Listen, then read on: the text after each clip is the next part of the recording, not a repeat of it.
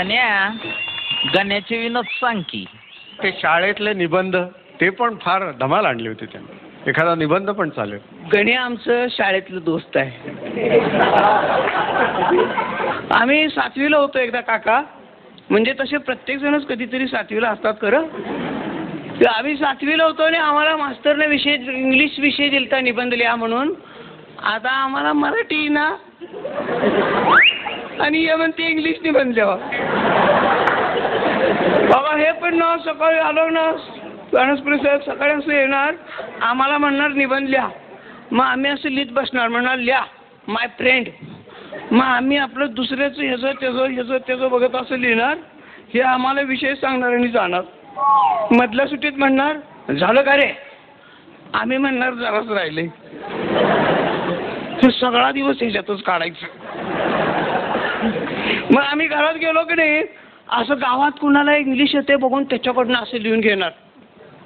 I have. आम्हाला English येते बे आम्ही मराठीतच लिहिणार. I have. आम्ही म्हणणार त्याला दाखवायचंच नाही. नुसतंच वाचून दाखवायचं. दुसऱ्या दिवशी आम्ही बसलो होतो काका असं आणि हे आलं आणि म्हणलं लिहा. माय फादर गण्या म्हटलं ना का काल सांगितलंय माय फ्रेंड आज म्हणते माय फादर मी म्हंटल गण्या लका आज मी ह्याच्यातच दिवस काढते म्हटले त्याला सोडायचं नाही म्हटलं आज. फ्रेंड लिवलंयस की नाही? कसं म्हटलं. आणि काल की म्हटलं तिथं फादर त्यानं बी असं प्रिंट काढलं फादर घातलं आणि वाचून दाखवलं. संकटात उपयोगी पडतो तोच खरा दोस्त. हे पहिलंच वाक्य गण्यानं मारलं. That father is good which is coming in trouble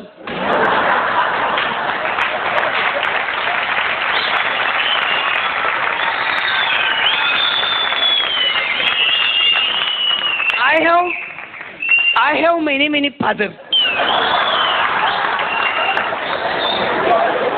But Tukaram is my best father.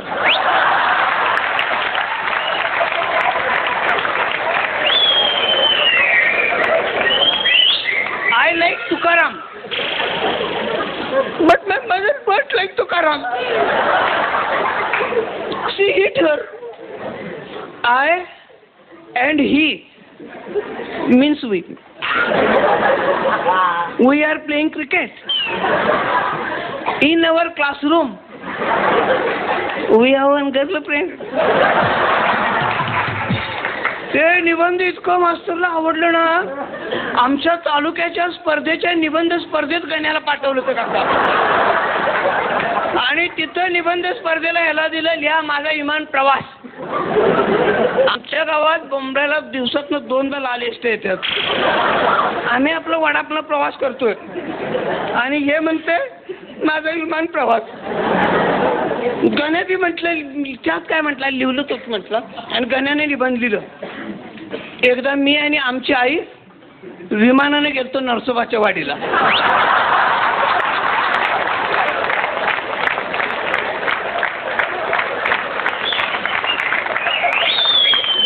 विमानाच्या स्टँडवर गेल्यावर विमानाचा ड्रायव्हर म्हटला चला वाडे वाडे कोण आहे का? वाडे वाडे वाडे.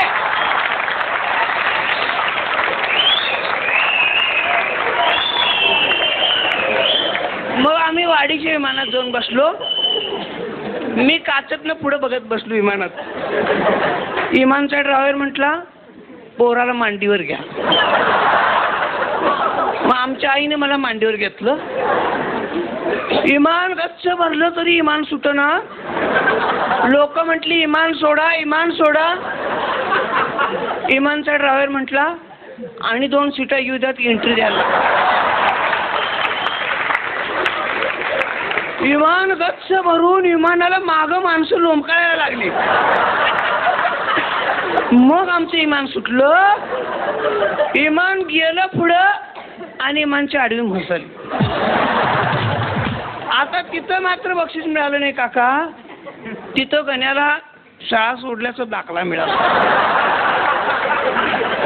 हे दाखला घेऊन गावात दिवसभर बोमट्या मारत फिरते इतकं खोड्या काढतोय ना काका. आता मोठं झालंय तरी बी खोड्या काढतोय. इतकं दिवस पोरांच्या बाच्या तक्रारी ह्याच्या बाकडं. आता पोरींच्या बाच्या बी तक्रारी या ह्याला बा म्हटलं थांब आता लगीनच करतो. लगीनच करतो म्हटलं माझ्याकडं आलो म्हटलं आलो का आमचं बाळ लगीन करायला आहे मी म्हटलं यावयात. तुझ्या म्हाताऱ्याचं टक्कूर बिक्कूर फिरले का काय म्हटलं हे म्हटलं त्याच ना बरं माझं करायला आहे म्हटलं. मग म्हटलं बरंच आहे की. तर मला म्हणतोय मी काय लगीन करणार नाही. लगीन बिन केल्याचं मला फायदा आहे म्हणतोय. मी म्हटलं काय? हे म्हणते बिन लगीन केल्याचं मला फायदा म्हणजे पलंगाच्या दोन्ही बाजून खाली उतरता येते म्हणते म्हटलं काय आलं का गण्या म्हटलं लगीन करायला पाहिजे रे म्हणतो ना हे म्हटलं मला म्हटलं लका मला पाहुण्याची पोरगी दाखवायला नेणार आहेत रे म्हटला. पोरगी लई देखून रे म्हटलं. ह्या गण्यानं लई भारी म्हणून तोंडाचं चंबू केला की माझ्या तोंडाला पाणी सुटायचं. मग आम्ही का गण्याला ना पोरगी बघायला गेलतो. असं पोरगी बघायला गेलोय. आणि पोरगी अशी डोक्यावरनं पदर पाक इथपर्यंत आणि पोरीचं बा म्हणते आम्हाला पोरगी नीट बघून घ्या. झोपून बघितलं तरी तोंड दिसेना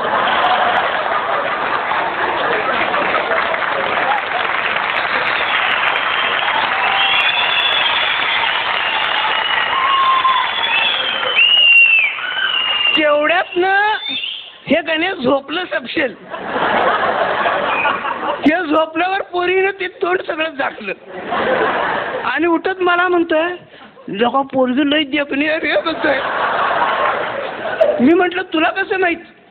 तर म्हणतोय पाहुणा सांगायलाही देऊ म्हणते ते लगीन सुख करायचे बसलं ह्याला उभं केलं.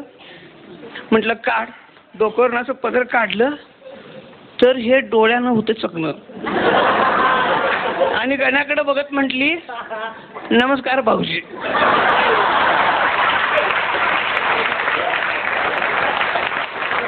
गण्या म्हटलं भाऊजी पोरीचं बा म्हटलं अहो तुमच्याकडेच बघायला तुमच्याकडे बघायला नाही ती तुमच्या दोस्ताकडे बघायला म्हटलं.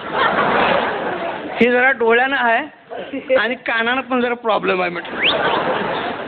मला म्हटलं गाण्या लेका म्हटलं म्हणा म्हटलं लोका हे कानानं बी केवढं आहे. मी म्हटलं नाही का असू दे की. तू सातवी नापास तुला कोण हेमा मालिनी लगीन करणार आहे. पोरगीला काय विचारत आहे का म्हणता हे म्हणते नाव? हे ना ऐकलं गाव. नाव म्हणताना हे म्हटलं तासगाव. गण्या मला म्हणतो मग तासगाव. गाव?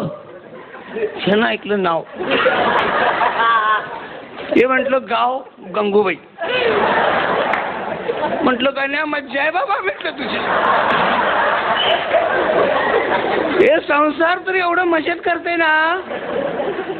हे कवा कवा लग्नात उखाना बी घेतोय. शेंगाची पेंड म्हशीला चारली.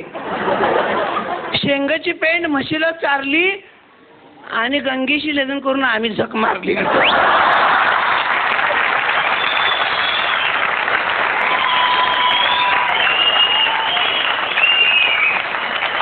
आणि आता आमच्या गावात आचार्याचा धंदा करते कवा बघल तेव्हा सायकल सायकलला पुढं ते असं दिवाळीत बुंदी करायचं झाऱ्या असते की नाही ते झाऱ्या पुढं लावतंय मागं कढई लावतंय आणि बघल तेव्हा फिरत असतोय. आमच्या गावात ना तिथं वडाच्या झाडाखाली एक भूत राहते हो. म्हणजे तुम्ही शहरातली माणसं अशी तुम्हाला पटणार नाही पण आमच्या गावात आहे हो.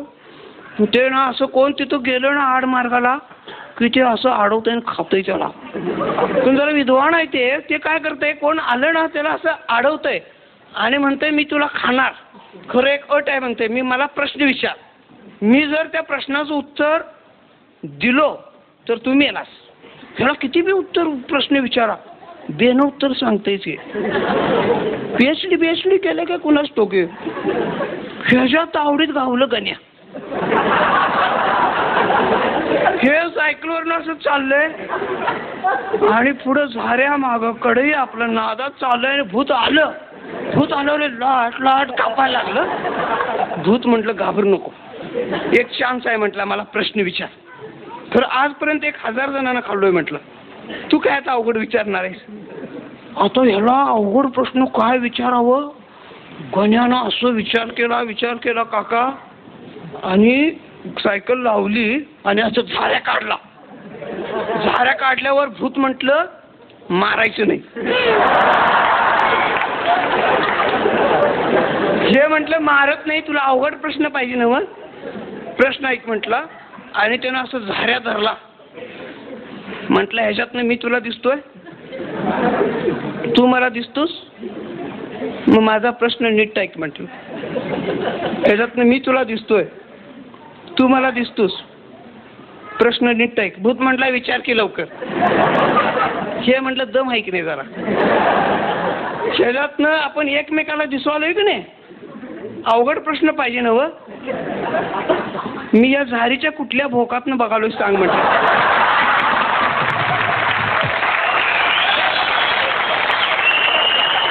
टाईप करा येस येस